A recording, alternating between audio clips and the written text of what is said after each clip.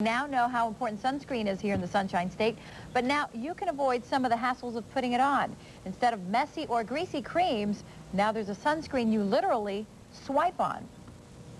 Sunscreen is a necessary part of living in South Florida, where the sun's rays can be wicked. But people always complain about having to put it on because sunscreens can be messy or greasy. The towel is a nice cotton towel. It's not like your small thin towelette, and it's fully saturated, and it's a non-greasy formula.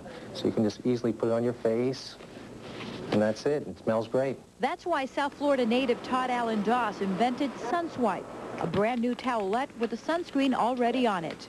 I think it's easier than the other creams that you buy in the bottle. We asked some South Florida beachgoers to try it out. Oh, it's really cool, relaxing, refreshing. Very different than having a greasy lotion on all day or greasy oil. SunSwipe comes in different waterproof strengths from sun protection factor 15 to SPF 30 for maximum child protection. It is PABA-free. It's a UVA and UVB, filters out those rays. We took the product to dermatologist Loretta Ciraldo for her expert opinion.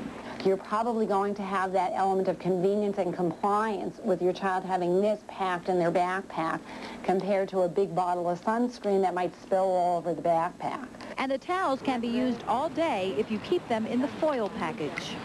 And while everyone agrees SunSwipe is convenient, it is more expensive. Each towel costs between $1.39 and $1.59. You can buy SunSwipe at some pharmacies and grocery stores. Great idea. Yeah, but hold off on the SunSwipe. Sounds like sweaters the next few days. Right, that's right.